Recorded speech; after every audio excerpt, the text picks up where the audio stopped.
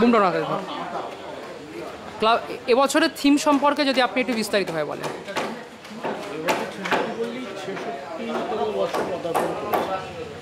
ছেষট্টি বছর বর্ষে আমাদের মূল ভাবনা হচ্ছে পুরনো কলকাতা। যেটা পুরনো কলকাতা বলতে আজকে নর্থ কলকাতার সাথে আমরা কালীঘাটটাকেও নাম উঠে আসে।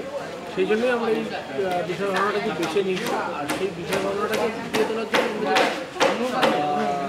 করেছি সেটা হচ্ছে পুরোটাই আপনার স্কেচ পেন্টিংয়ের উপর পুরো প্যান্ডেলটাকে ফুটিয়ে কি থিমের ওপর বিশেষ বৈশিষ্ট্য রেখে এই পুজোটা তৈরি হচ্ছে থিম বলতে আমি আগেও যেটা বললাম যে এটা পুরনো কলকাতার একটা নস্টালজিক ফিলিং আবার রিক্রিয়েট করা হচ্ছে তার উপর করেই এই পুজোটা আবার থিমটা তৈরি করা।